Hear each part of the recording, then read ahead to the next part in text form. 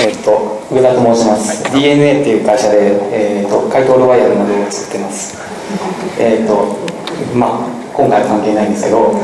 要求の際っていうものがありまして、まあ、僕に求められるのが優先度が違うために、まあ、いろんな技をみんな作ったりし始めてるんですけど、まあ、大規模サイトだとスケーラビリティ小規模サイトだとまあ手軽さを目的としてます。で小規模目的ならばそろそろ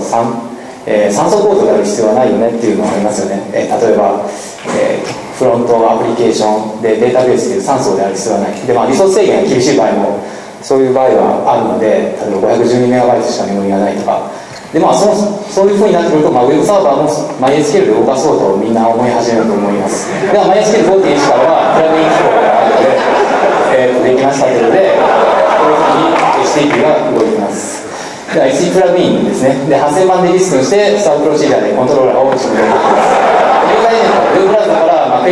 来るのでそれをパースしてコントローラーに出して、まあ、実行結果を表示するという。感じですで、まあ、これが、えーと、コントローラーですね。ちょっと分かりにくい。字が小さいんで見えにくいんですけど、まあ、プレイプレイシージャーでインデックスをやってこれは、えーと、テーブルで、まあ、データベースの内容を表示します。はい、で今後の予定なんですが、まあ、スタースプロシージャーこれを